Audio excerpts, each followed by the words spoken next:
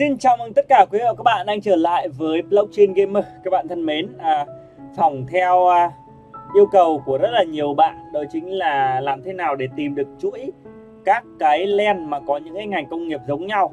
Thì hôm nay mình sẽ hướng dẫn cho tất cả các bạn cách để chúng ta tìm cái chuỗi mà chúng ta có thể à, là làm những cái ngành giống nhau nhé Tại vì sao phải tìm như vậy? Thì thực ra là cái bookmark của chúng ta chỉ có là bốn cái thôi nha các bạn nhé vậy thì chúng ta hãy tìm à, ra một cái chuỗi những cái ngành nghề giống nhau để chúng ta có thể à, làm được những cái ngành giống nhau. Ví dụ như là mình sẽ à, cho các bạn xem à, mình có một cái chuỗi làm à, tầm đó là chuỗi từ 660 đến 665 thì mỗi lần mà đi thu thì mình sẽ đi lần lượt. Ví dụ là mình đến 660 này mình phù đến 660 này.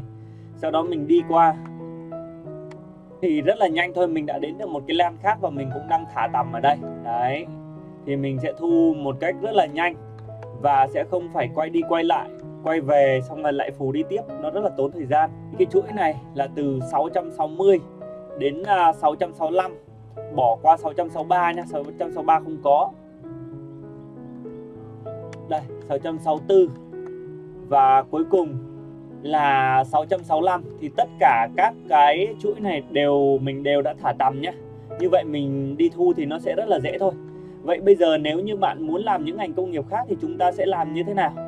À, thì mình sẽ giới thiệu cho tất cả các bạn à, đó là một cái trang web có tên là www.pixel.tip Rồi sau khi mà vào đây thì chúng ta sẽ vào cái mục len nha các bạn nhé. Chúng ta sẽ nhấp vào cái mục len ở đây này. Thì khi mà nhấp vào len rồi ấy, thì chúng ta sẽ hiện ra ở đây là uh, các cái farm Farm 1, farm 2, farm 3, farm 4, farm 5, farm 6 gì đó. Đó rất là nhiều farm. Và ở trên mỗi cái farm này thì nó sẽ có những cái thông số như sau. Đầu tiên là số thứ tự thứ hai là thể loại thứ ba là ngành industry crop là có chuồng gà hay không mil là có cái um, cái cái cối xây gió hay không bao nhiêu cái uh, mảnh đất bao nhiêu cái cái cái mảnh đất trồng và bao nhiêu cái cây. Đó và silo là có silo hay không. Silo hình như là cái nhà chứa đó các bạn nhé. Rồi house là uh, có hay là không này? Đó, S hay L. Đó. và size là size to hay là size nhỏ? Rồi. Và ai là người đang sở hữu? Thì giả sử như lúc nãy là mình ờ, muốn làm cái ngành là là ngành um, Slug Slam nha các bạn nhé nhưng mà giờ giờ các bạn muốn làm là cái ngành uh, uh, nuôi ong đi chẳng hạn thì mình sẽ gọi là apiary nha các bạn nhé rồi.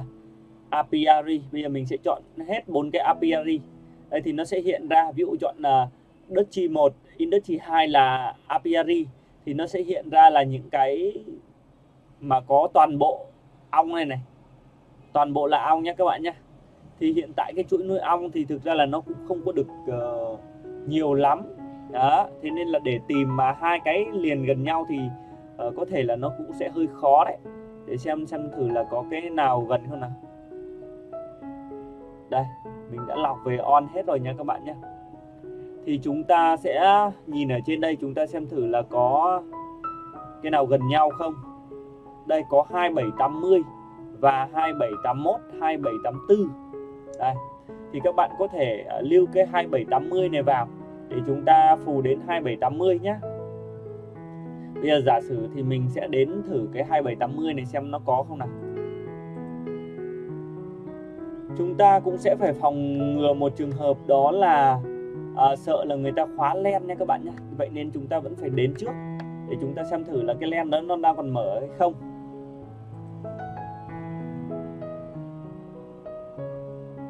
Đây 2780 có vẻ như ngành ong thì à, khá là ít len nha các bạn nhé 2780 rồi mình go nào. Rồi mình đã đến được 2780 nha, có bốn cái tổ ong ở đây. Và vẫn đang cho hoạt động nha các bạn nhé có thêm một cái chuồng gà nữa. Và chúng ta thử qua 2781 xem là có còn đang hoạt động nữa không.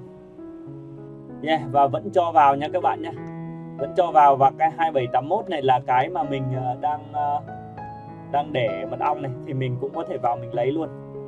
Đấy. mình sẽ vào, mình lấy. Đó. Tự nhiên đi lại trúng cái len của mình nhé. Trúng cái len mà mình đang đang đang để đổ ở đây. Rồi, thì ờ, đơn giản như vậy thôi. Các bạn cũng có thể tìm những cái ngành nghề khác. Ở đây thì chúng ta còn có là 4025 4027 này.